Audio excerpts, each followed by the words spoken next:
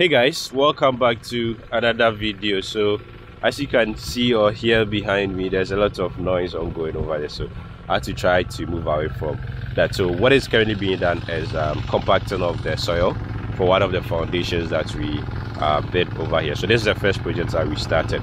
Um, so after filling it with laterite we had to leave it for some time and soak it with water. So uh, that's like about a month now so we consistently soak with water trying to you know make the soil settle properly before we go ahead to have the compact that too.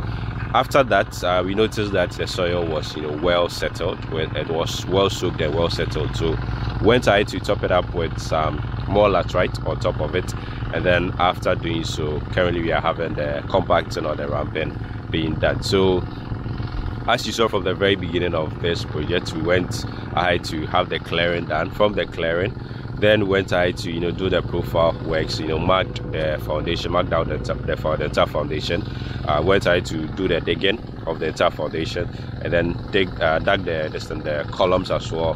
From there went I to do the uh, spread of damp-proof membrane in it spread uh, after the spreading of the damp-proof membrane doing concrete works um, setting the pillars or the, the steel for each um, section or each column.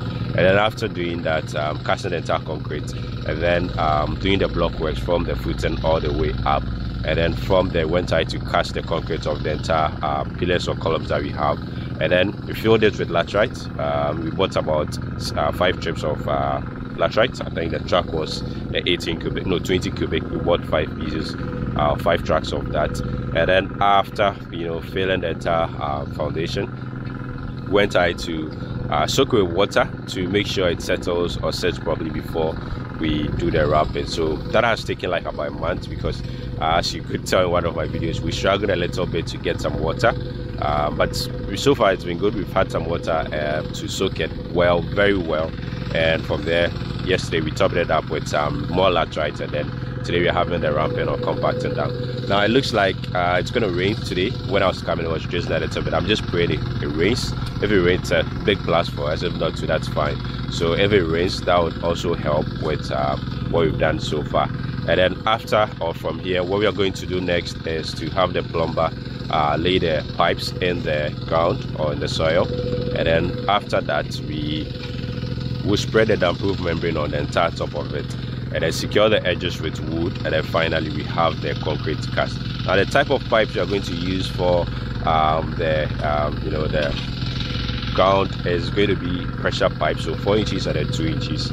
Yes you're going to use pressure pipes. So someone may ask why pressure pipe? Now pressure pipe because pressure pipes are very tough are able to withstand you know a lot of tough pressure and so on.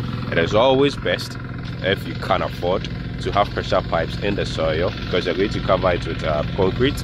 You wouldn't want a situation whereby when there's a leakage you're now going to dig back or you know crack or uh, break the concrete to have um, you know the pipes removed and then solve the issue. So if you can always afford try as much as possible to go with pressure pipes. So that's what we are going to be using for the um, the foundation.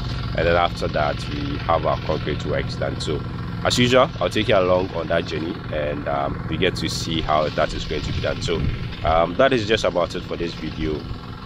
In case you have any feedback comments or anything you can just drop them in the comment section. And as usual we get to learn a two or ten from them. So that'll be just about it. Thank you very much for watching. I'll see you in the next one